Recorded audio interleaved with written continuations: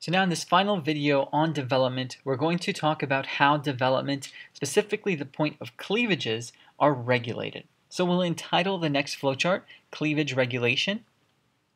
And here what we want to talk about, whenever we talk about regulation, what we're stating is a process is going to be controlled by some overarching factors. Something is going to have an influence on an important process and thus it's going to regulate that important process. A very important process that occurs within all of us at an embryonic stage is cleavages. And how is this regulated and controlled? Let's take a look. So, cleavage regulation.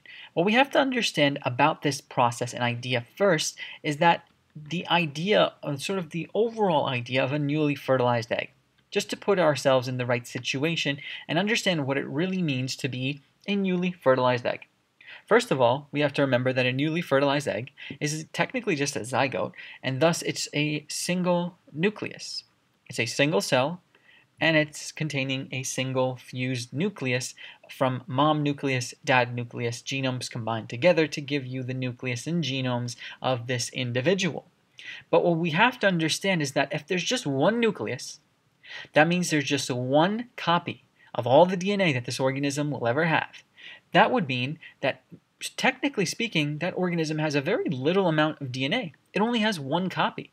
It only has one set from mom, one set from dad, and it's not, you know, a thousand cells. It's not a million cells of million, you know, copies of DNA. There has not been a moment or second of DNA replication in this structure. But what do we remember?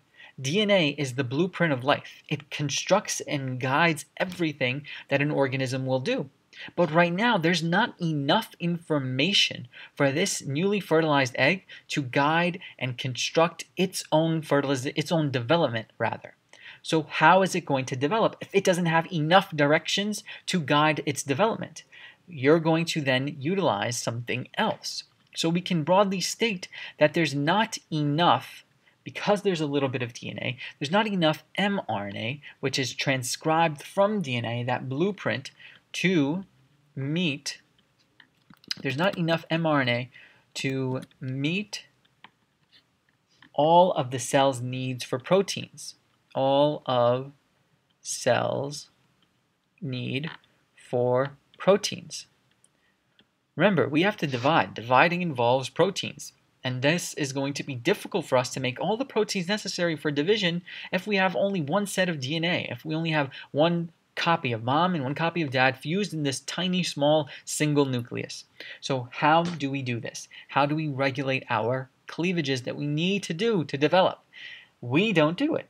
Initially, this structure, the zygote, that newly fertilized egg, must rely on something else.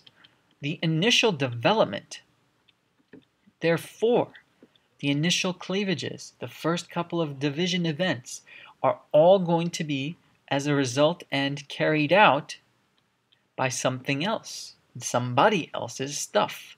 They are carried out by the good old maternal, maternal mRNA slash thus proteins that are going to be transcribed as a result of this mRNA from oogenesis.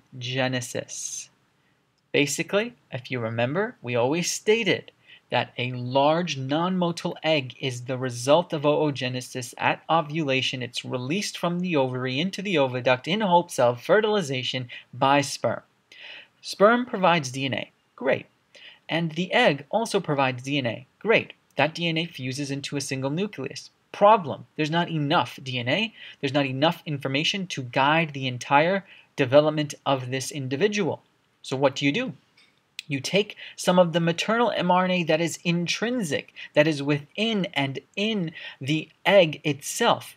The egg itself contains a lot of maternal material, maternal organelles that are going to help this developing organism start its development because it's going to utilize the mom's individual stuff that it's given to this egg all this stuff was invested to create this one egg. Remember, from all those steps of ovulation and menstrual cycle, all of that was done for a reason and a very important reason, and that is because maternal mRNA and proteins will be within this large egg to help guide the overall zygote formation. But then what's going to happen is this stuff, even though it's great and it helps the initial development, it's going to then sort of go away. It's going to then not be necessary because after many cleavages, after this initial development has been kickstarted and helped by the mother's uh, mRNA and proteins, therefore, after some cleavages, after its help, you're going to have now many blastomeres. Many blastomeres are going to thus mean many nuclei.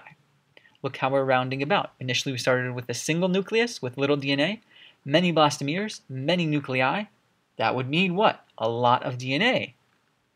This structure now, this developing embryo, has lots of DNA. Therefore, even though there's a lot of small cells, these small cells all contain lots of genetic material. And thus, the small cells are going to be with enough. The small cells, aka the blastomeres of the blastula, are with uh, are now now finally have enough DNA plus, therefore, mRNA to support their needs. So they become independent once they have divided enough. Thus, we have to give a great thank you to this maternal mRNA and proteins that was present in order to promote the zygote's initial cleavages, initial development, therefore, and then finally we kicked in our own DNA that was, of course, given to us by mom and dad, but now we have lots of it, thus we can guide the entire developmental process by ourselves independently of the maternal mRNA and proteins. But of course, we needed that kickstart.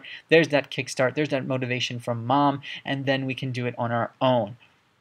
That covers our look at Development 1. Again, I really like this lecture and this part of this course because we see just how complex and advanced and how worthy of appreciation all of these events are within our lives.